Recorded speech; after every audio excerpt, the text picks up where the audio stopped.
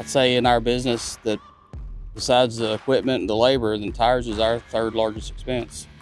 We've been with Continental probably five years now using digital solutions and uh, it's really paid off. We went from having probably five service calls a week to maybe one or two a month now.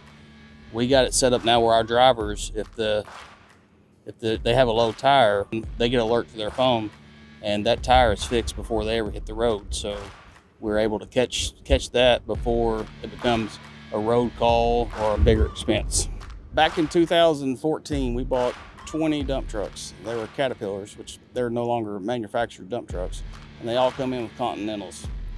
So we had one truck that the front steer, they were HTC ones. We got 95,000 miles out of them before we had to change it, and that sold me on Continental right there.